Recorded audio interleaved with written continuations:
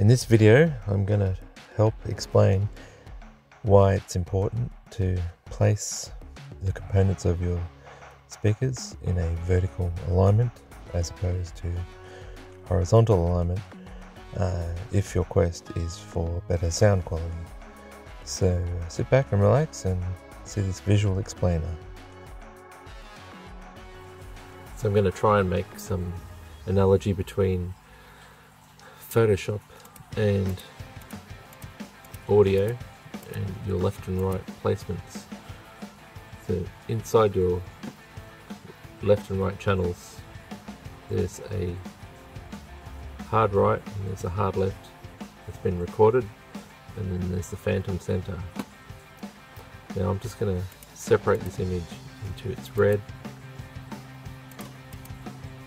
green and blue components even though turning them on and off does the exact opposite of what I just said. It's just the way uh, Photoshop renders them together. So you grab a layer like the green, let's just call the green layer is the tweeters on a three-way system. Now if your tweeters are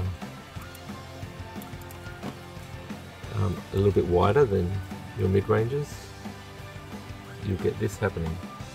So on the right, let's just say they're wider on the right, they're pulling out to here, and let's just say that you balance your EQs correctly, you see the center image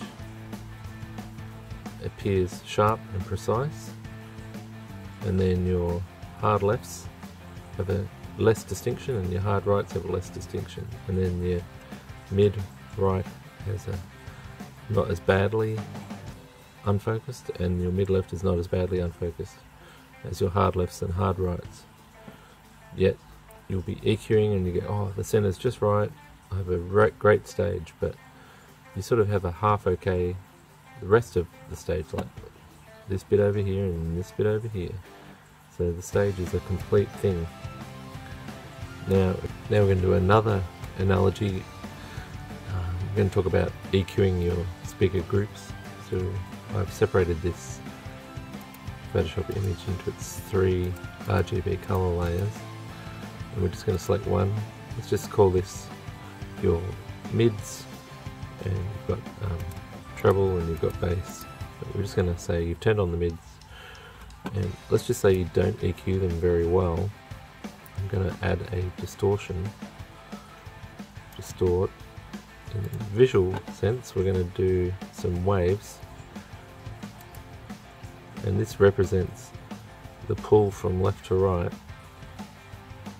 That you will have if you have the frequency higher on one side it will pull that way. If you have the speaker at another frequency let's just say each row is a frequency within the mid-range. And you'll get this left and right pulling.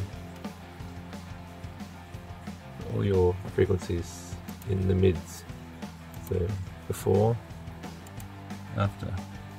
When you put the other bass and treble back in you will notice that you have a slightly undefined image even though it was just the mid-range that you forgot to EQ and so you start to have fuzzier ranges. Let's just go again on another channel. Let's just say we didn't EQ the, the treble very well filter distort wave have to randomize it a bit and now we have uh, two channels that are slightly wonky. The mid-range is wonky and the treble is wonky. And so even though it's just those two together is undefining image. Let's go full full analogy and we'll distort the bass. Distort, wave, a little bit different. Okay, so we have a wonky in the bass, a wonky in the mids, and a wonky in the treble.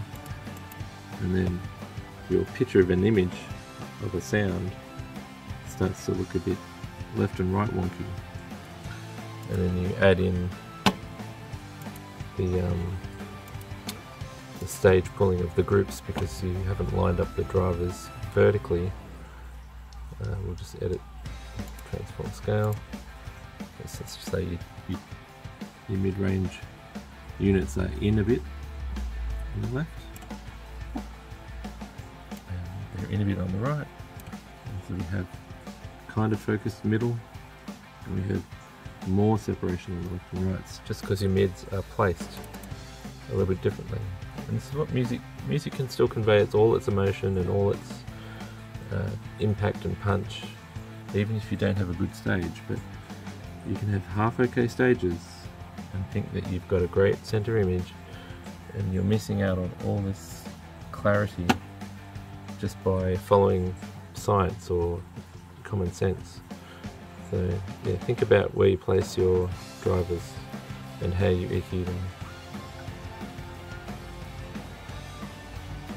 And there's also top to bottom, which your brain can kind of forgive when it comes to speaker placements. But left and right, I really believe you should be vertically aligning them